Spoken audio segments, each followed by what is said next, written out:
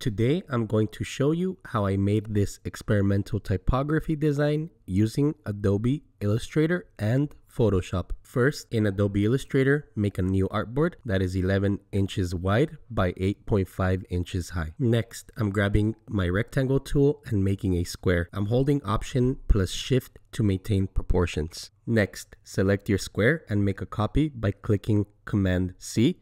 This will copy it into your clipboard and we will use it later. Next, with your square shape selected, click Command 5 to make guides.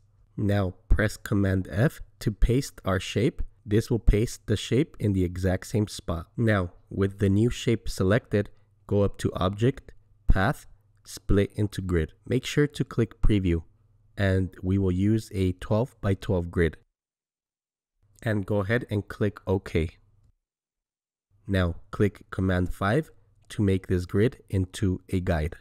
On a new layer, we're going to make a square the size of our grid, or you can press Command F to paste the shape square again. Now with your text tool, go ahead and type your quote. And in my case, I'll be adjusting some of the parameters such as the leading. I'm also using one of my favorite fonts, Europa Bold, and I'm decreasing the size so that it can fit in one sentence and I'm highlighting my text to make a copy and paste it using Command V. Now in my layers panel, I'm cleaning up my layers a bit by renaming them, making a copy because I will expand my text. And when you expand text, that means it turns into shapes and it is no longer editable, but it's always good to have a backup. With your text layer selected, go up to object, select expand, and that turns it into shapes.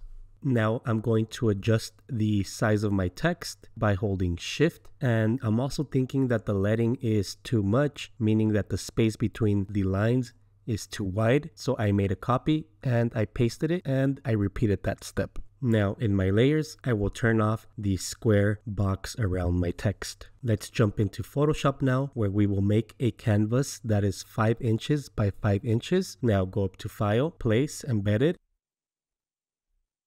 a window will pop up. Make sure you press bounding box and click OK. Now make any final adjustments and press place. Next, go up to filter, liquify.